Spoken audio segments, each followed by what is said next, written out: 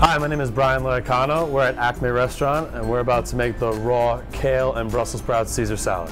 The kale Caesar salad is kind of a, I want to say, a pretty common Caesar salad setup. So when we were thinking of the dish for the new Acme restaurant, we thought of Brussels sprouts. And I like to use Brussels sprouts raw as opposed to cooked as they're commonly used for because they have a really floral taste to them and they could hold dressing really well. So to get started, we're going to prep our Brussels sprouts with a mandolin. Okay, this guy is the Japanese mandolin. You can find them in most stores. Uh, relatively thin, but I would say about, if you were to put maybe five sheets of paper together, is about as thin as we're going to do the Brussels sprout. You could do it with a knife. The mandolin's easy and consistent. If you have good knife skills, you could just shave it and make sure they're nice and thin and uh, consistent.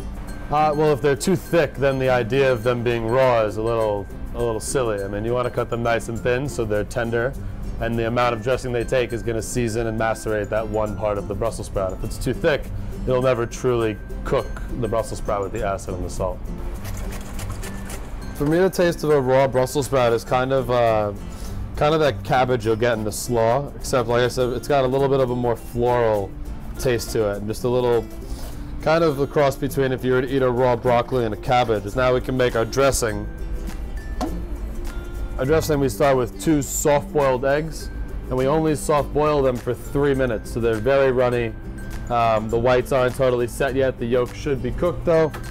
But the idea is that you're kind of making a nice base, not just of egg yolks, but of the entire egg. For me, the egg yolks always add a certain richness to a salad dressing and for the base of the mayo and things like that. Using the whole egg, I kind of think adds a nice egg flavor to the Caesar dressing, but also that's not too strong because it's soft boiled, not hard boiled, or not raw. And uh, I really, I just think the richness is kind of the key when using the soft boiled egg. All right, so now you have your soft boiled eggs in the blender. We add our two anchovy and a clove of chopped garlic. And we add our Parmesan cheese. We're gonna start to blend this in the blender on low, just to kind of make a small bit of a paste.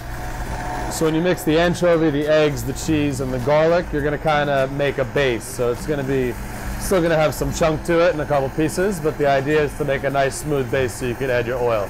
Once you're on low, you're gonna slowly add your oil. You want it to thicken up. As you add the oil slowly to the egg mixture, it's gonna thicken. Once it won't blend anymore, obviously it can't hold any more oil. You could add a little bit of water to thin it out. And, uh, but really it's, once it gets thick and it starts pulling that move in the blender, you should understand it's time to stop adding oil. There you go. So afterwards, we're just gonna season with lemon juice, Worcestershire sauce, a little sherry vinegar, Tabasco, and a little salt. Be careful with the salt because depending on what kind of anchovies you add, you could really put a little too much salt in your dressing. But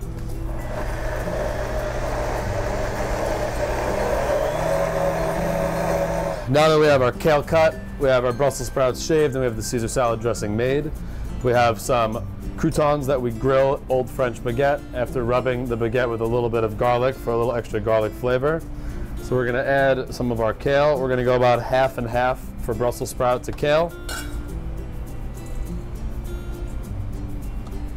Yeah, we're gonna add a nice handful of garlic uh, croutons. These you wanna put in the beginning because it's nice if they get a little bit of the dressing and kind of become one with the salad. We're also gonna add a pinch of raw shallot. That's gonna add a nice oniony flavor to the salad and give a little bit of a bite to it. Our dressing, you don't wanna add too much, but at the same time, this, this combination of kale and Brussels sprout can really hold a lot of dressing. You almost wanna take it and for me, I kind of give it a small squeeze because you want to give the Brussels sprouts and kale a chance to not break down, but kind of, I would say, macerate with the dressing and the acids and the shallots and everything, kind of become one flavor. Okay, so to finish the garnish on this, we're going to add a little bit of shaved Parmesan cheese on top. When I say shaved, we take the Parmesan a whole brick with a peeler and just peel it down so we have these nice thin long strips of cheese. And we'll take our six minute soft boiled eggs. This is a soft boiled egg we put in boiling water for six minutes, take it out, chill it down.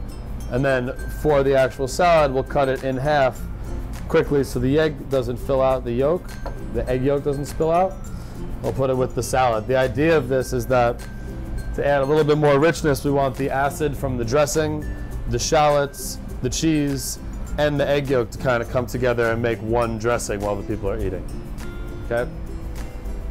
To finish, we'll finish with a little bit of finishing salt on top of the egg.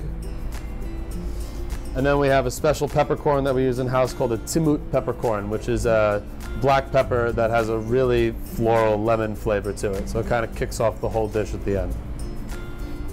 Thank you for watching. This is the raw Brussels sprout kale Caesar salad at Acme.